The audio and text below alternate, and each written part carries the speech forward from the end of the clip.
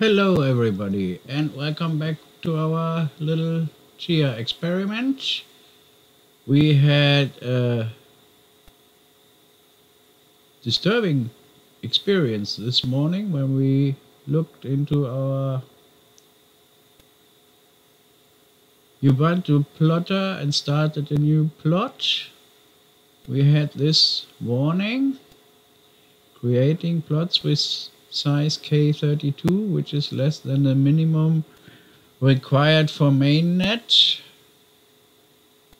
Uh, I have put it up on GitHub, uh, but I think there's no reply up to now. Let's see. Nope. Nothing has been answered up to now, but I mean, I didn't find anything in the search. I was under the impression K32 is still valid as a plot size. Everything else would be a huge surprise. And as you see, the plot is going on and it shows no sign of being different in any form than or shape than the other ones. And we have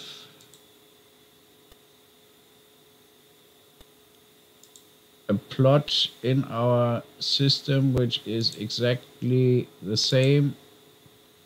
I mean, we didn't alter anything on the on the on the input. Sorry, yeah, I'm I'm I'm still I'm still so perplexed. Uh, yeah, so we didn't alter anything on the input, and it is. Uh, this is our test net. And it shows the plot as a valid plot in the total number of plots which has been plotted on the Ubuntu harvester the day before yesterday with exactly the same uh, inputs K32, 8 threads, 23 gigabyte of RAM. Yeah, yeah, we are just testing our limits. I know it is over the top, but we are just testing our limits. We are just looking forward or trying out different types of settings. Yeah, so uh, yeah, I will see what comes out of the GitHub request if there's any any answer we will see. But that would be a bit of a surprise. Good. As you can see everything else is fine. We are doing very well with our response times. I think this will be the last one for today. Yeah, uh, we have a few gigabytes of RAM, uh, yeah, a few hundred gigabytes of RAM, which we have to put into the machines. A few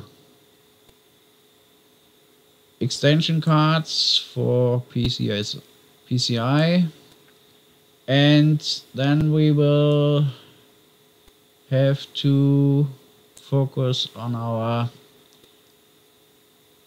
on our fiber optic LAN so that we get the connections together. The number of or the the the net space has of course returned back to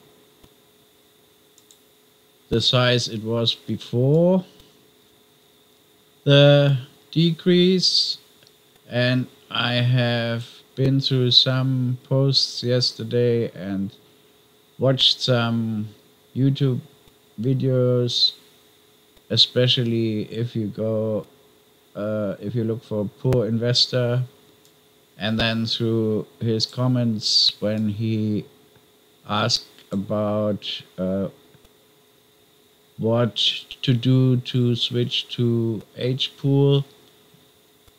Yeah, you can see we are back to 12 and a half exabyte now, and I expect it to be 13 by tonight. I think the shift is mainly people moving their plots around, and it is not actually a sign of a slowdown in the net space. But anyway, we will find out. Yeah, so we will see what the what the heck this warning is about.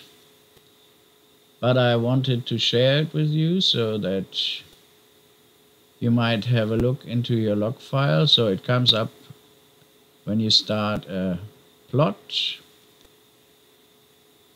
And we will see what what the meaning of that is. So I show you again the warning it's just a copy and paste from the warning when I started the plot. And yeah I'm really confused. I would like to know what this is about. Apart from that the price for Chia is still within the corridor between a thousand and six hundred, but obviously it's a hundred dollar less than it was yesterday. The trading volume is still very modest, so no